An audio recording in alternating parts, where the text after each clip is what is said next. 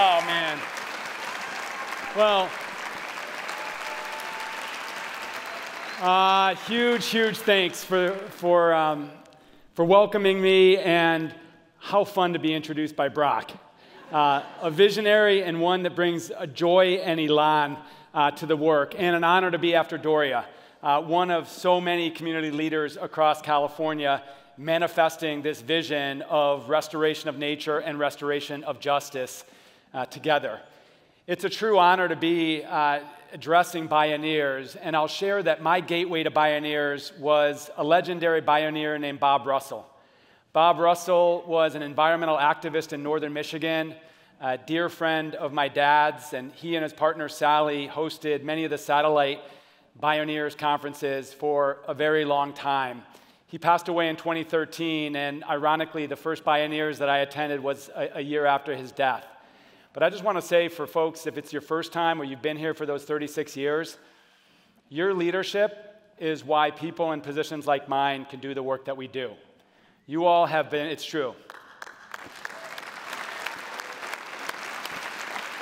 You all have been innovating ideas, building movements, uh, driving advocacy that enables us to be, in some cases, where we, where we are today. Now, make no mistake, we've talked a lot about it over the last day. We are in tumultuous times, we're in alarming times, it's dis- discouraging times. And, and I'm reminded to, it's important to, for all of us to, to, to remember why we do the work. So I want to tell you my why. I describe my why as working to help people and nature thrive together as one.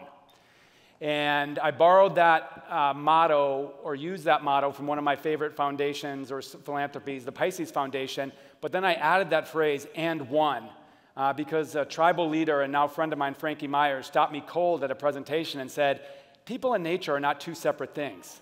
Nature are people, Na- people are, are nature. You need, to, you need to recognize that they're together. So it was an incredible moment a year later when we got to move into a new headquarters building in, in Sacramento, and I got to choose the quote on the wall uh, when you come into our, our lobby. And I chose a, a, po- a quote by the, the poet Gary Snyder, and it says, Nature is not a place to visit, it is home, right? And we know uh, we know to a person that nature needs us and, and we need nature. So I want to talk about what that means to somebody who's working in government. And I'll say I'm so refreshed to look at this agenda and see almost no people like, that do jobs like me. Uh, because most conferences I go to are policy speak and political platitudes, et cetera. You all are on the, on, the, uh, on the front lines making this work, but I want to tell you something encouraging. And I think it's important to have encouragement uh, at this time. I call it hope with an action plan. And the fact is, nature is finding its way centrally into the work of governments, not only in California, across the United States, and across the world. And big things are happening. So let me skip to the big things because I think it's really exciting to share with you that after a decadal movement by tribal leaders in California, the largest river restoration project in American history is complete in the Klamath River Basin.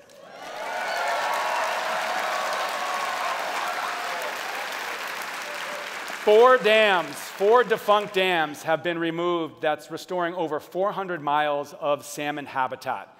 Critically, critically important. Critically important to the survival of salmon and the survival of the Yurok and the Karuk people, salmon people. And I can tell you that institutions like the agency that I lead for decades told tribal leaders that it would never happen. It could never happen. And it was that steadfastness of, of tribal leaders and their vision that brought together governors, the Interior Secretary of the United States, even Warren Buffett to take down those dams. But here's the most remarkable thing those dams came down in the fall, and biologists, fish biologists said it's going to take a a handful of years to understand if salmon are actually going to recolonize this, uh, uh, this, this, watershed, that are actually going to uh, come back in. You know how long it took? 10 days. 10 days. 6,000 6, salmon were, uh, were monitored 10 days later getting through that first dam, and it was 10 weeks later that the first salmon were identified far up into Oregon in the, in the top headwaters of the, of the restored habitat. Nature is resilient if we give it half a chance. Go 400 miles to the south to Los Angeles, where we're nearing completion of construction on what we think is the world's largest land based wildlife crossing, the Wallis Annenberg Crossing, connecting two, to connecting two critical habitats uh, for areas of habitat for the endangered Southern California mountain lion. That's a wildlife crossing that's crossing 10 lanes of traffic and uh, a, a two, lane, two lane frontage road. Uh, and that, that, that took over a decade of advocacy led by an incredible environmental activist named Beth Pratt from the National Wildlife Federation. And guess what? That has in common with Klamath. Many people, most people said it could never get done. It was too big, it was too audacious, it was too complicated, could never happen. And now we're about to get it done. The fact is, great things are happening across California and our country. The California condor is back. I was up with the Yurok biologists releasing California condor into their native habitat in far northern California. The gray wolves are back in California uh, and, and have, uh, have made their way into the, into the southern Sierra. And yes, the beavers are back. And I can tell you, and I can tell you that Brock and his, his partner at his organization, Kate Lundquist, are the reasons why beavers are back. So let's talk about why nature is important in California.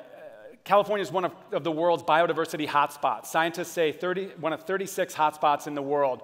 We have uh, more uh, endemic species in California than almost any place on Earth. 40% of our plant species in California only grow in California. We talk a lot about our culture, cultural diversity, which is an incredible thing to celebrate, and we have this biodiversity.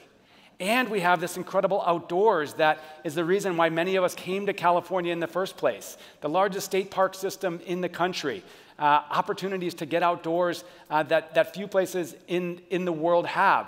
But we also rely on our nature and our natural systems. Our natural systems are what keep us together and alive. We talk about ecosystems, and sometimes we think eco means environment. This is fish and wildlife. Eco means is the Greek um, translation of home. These are our home systems. So those watersheds that we're working to protect are providing our water. And when those watersheds burn up in catastrophic wildfire like they have uh, in the, over the past decade, that is a huge threat to our, our, our life as humans in, in California. So, yes, we're protecting nature for biodiversity. Yes, we're protecting nature for non human life, but we're also protecting nature uh, for ourselves. And that's really been the aha moment in the last decade, where across the world, scientists have told us that yes, attacking climate change is about solar energy and electric vehicles and building efficiency, but it's also about protecting and restoring nature. It was 10 years ago next month that the legendary conservationist biologist E.O. Wilson stood on this very stage before he published the, the book uh, Half Earth. And he called for us to protect, conserve, restore half of the earth as the way that we're going to actually invest in the future, not only uh, of all animals and life forms, but our, our own species. And since that time, we now understand, and uh, our processes that bring together people across the world on climate change understand nature is critical. And in fact, in 2022, the foremost scientists across the world, they formed something called the Intergovernmental Panel on Climate Change. They came together and they said there's five important things that you need to do in the next 10 years to try to stabilize climate change. And three of those were nature based solutions. We're restoring nature, we're protecting nature, and we're improving agricultural practices. Because we know that nature based solutions are now central to the work that we're doing uh, protecting, protecting planet Earth and combating climate change. So, what does that look like in California, and, and how does that translate uh, across the world? I am so proud to share with you that California is part of a global movement called 30 by 30. Now, E.O. Wilson set the bar high with half Earth, 50%, and we're not quite there yet. But what we've committed ourselves to is be part of a global movement to protect a third of the Earth, restore a third of the Earth by 2030, and this is called 30 by 30. Governor Newsom answered the call of activists that were calling on California to step up and actually sign on the dotted line for 30 by 30. He established an executive order back in 2020. Uh, our state legislature followed suit two years later and adopted it as a state law. And then, believe it or not, this United Nations process that brings together uh, countries from around the world on biodiversity, agreed uh, in 2022 in Montreal on a set of commitments that included 30 by 30 uh, for the world. What's exciting about California, though, is we're not just aspiring to some big idea, we're getting it done in California. So we held ourselves to a really strong standard of what it means to, to protect our lands and our coastal waters, and then we're holding ourselves accountable for getting there. And over the last two years, well, three years, we've achieved expanded, expanded that, those conserved protected areas by 1.5 million acres of land. So you know places You know places like, uh, of course, Yosemite and Big Sur, but th there's a movement happening across California driven by land trusts and resource conservation districts and NGOs and local governments to conserve land locally, all in service to this big idea of 30 by 30. And we're making progress. We're also adopting what we think, or we have adopted what we think are the strongest nature based solution targets in the world. So, not only saying, yes, nature needs to be part of our mandate our state law to achieve carbon neutrality or net zero in the next 20 years by 2045, but nature has to actually be part of that. And we know that nature, when it's cared for in our landscapes, when they're healthy, are incredible sequesters of carbon. They remove and store carbon.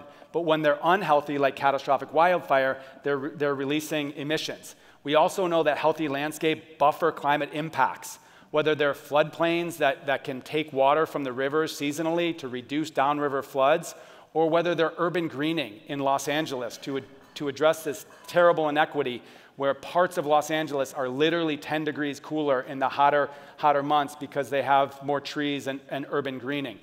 So we know that nature-based solutions make sense in California. Now we're holding ourselves accountable with 81 specific targets to achieve these nature-based solutions, whether it's getting 30 million acres of land healthier to avoid catastrophic wildfire risk in the next 20 years, or getting 4 million new trees in the ground. Just two of these 81 very, very specific targets. We're also really excited to recognize that while conserving, restoring nature is important, we have to build connectivity. I mentioned the Klamath Dams removal and this, this land based bridge. We have to do a lot more of that. We have to build a system of connectivity. And we've got a remarkable public private partnership driven by nonprofits called California Wildlife Reconnected to do that, just that. I want to want to lastly on the policy side share maybe something I'm most proud of being a part of, and that is our tribal nature-based solutions. Three months after he took office, Governor Newsom invited California tribal leaders to the future, future site of the Native American Heritage Center, this, this new tribal gathering place in Sacramento, and did something that no California governor had ever done. He offered an unconditional apology for state government's treatment of tribes. And he read,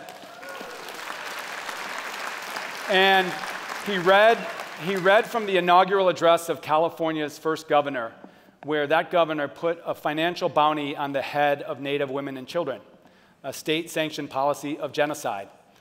And it was easily the most uh, meaningful and impactful day in my career. But we talked about with the tribal leaders that if that's all that happened, it was important, importantly symbolic, but it was ultimately counterproductive because we needed to actually create a new, a, a new future. So we've been holding ourselves accountable over the last five years to create that new future. And what does that, what does that future look like?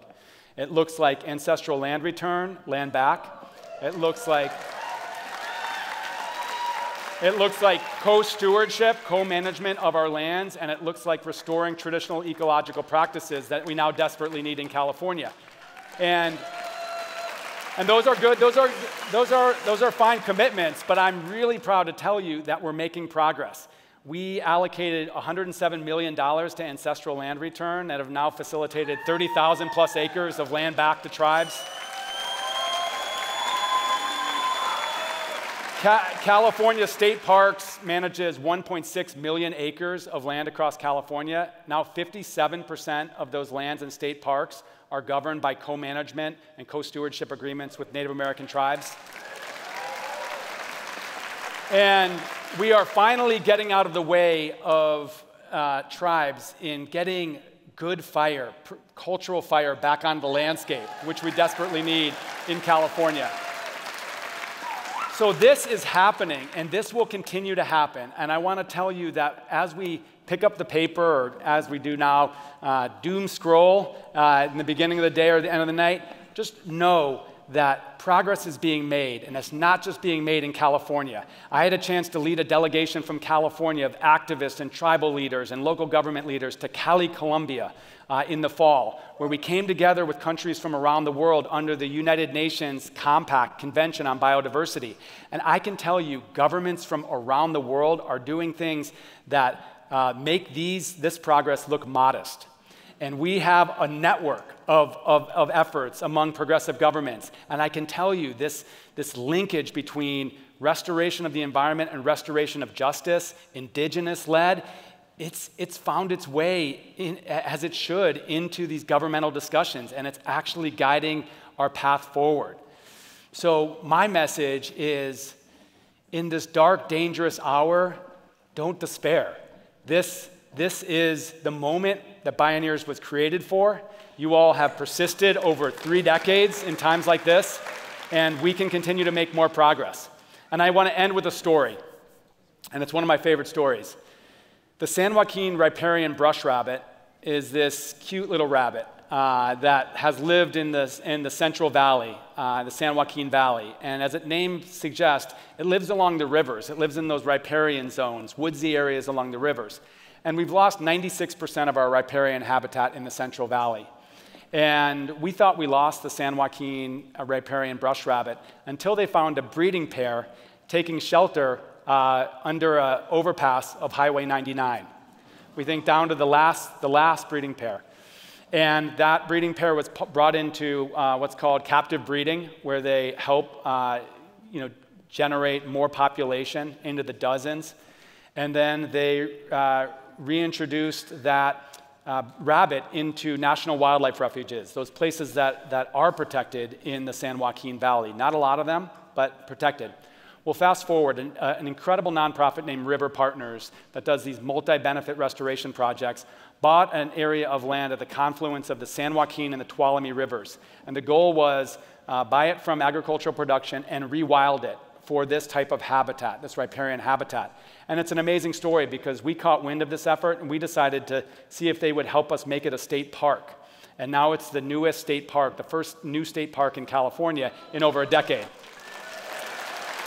And, and it happens to be in a, in a part of California that's park poor, where you have uh, low income farm worker communities that literally uh, have limited access to touch the rivers uh, and recreate in the rivers when it's 110 degrees in the Central Valley. So it's amazing that this is becoming a state park. And so, in the course of that, they were doing biological surveys to prepare for the reintroduction of the brush rabbit. Because in an exciting way, we can move the, the or bring, the, bring the brush rabbit population from several miles up on the other side of the river uh, to, to what we're calling Dos Rios, the state park, and, and reintroduce it. And uh, during that, um, that biological survey, um, within that newly repaired uh, riparian zone, only three and a half years old, you know what they found? Riparian brush rabbits. Somehow, these incredible bunnies had figured out a way to travel 10 miles and across the river uh, to find their new home at Dos Rios. So, to me, that says never give up hope. Always recognize that nature can rebound if we help nature and this is our moment. So thank you very much for what you do. Keep up the great work.